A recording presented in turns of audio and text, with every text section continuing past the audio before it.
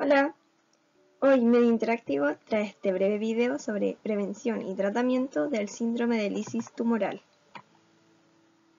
Para comenzar debemos saber que el síndrome de lisis tumoral es una emergencia oncológica originada por la lisis masiva de las células de un tumor con la consecuente salida de grandes cantidades de potasio, fosfato y ácidos nucleicos.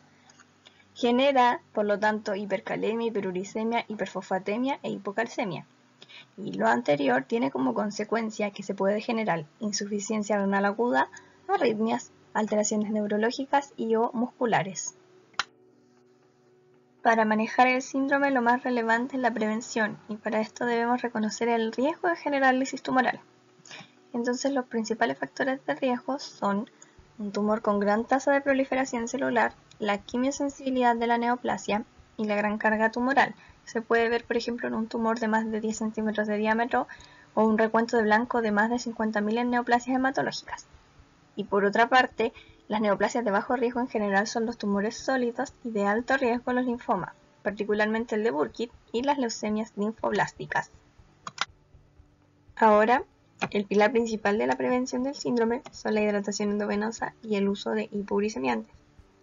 Con la hidratación se busca mejorar la perfusión renal e inducir un mayor débito urinario, para minimizar la precipitación de ácido úrico y calcio en los túbulos, lo que se complementa con el uso de los hipouricemiantes como alopurinol y rapuricasa, la última muy recomendada en pacientes de alto riesgo.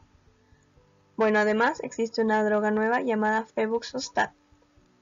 También, buscando evitar la falla renal, nos podemos apoyar en el uso de un diurético de asa como la furosemida.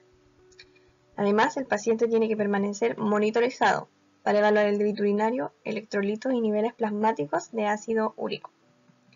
Es importante recordar que no se debe alcalinizar la orina con bicarbonato de sodio o acetazolamida, porque la evidencia respecto a la medida es controversial.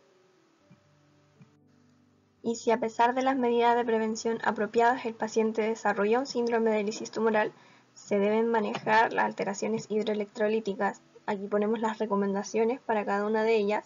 Pueden pausar el video y leerlas. Y junto a esto se deben mantener las medidas de hidratación e hipouricemiantes. Si a pesar de todo lo anterior el estado del paciente empeora, debería optarse por la hemodiálisis. Y recuerden que aún queda por investigar para garantizar un buen manejo de esta emergencia oncológica. Eso es todo por este video, mucho éxito con el estudio y no olviden revisar el contenido semanal de Medio Interactivo.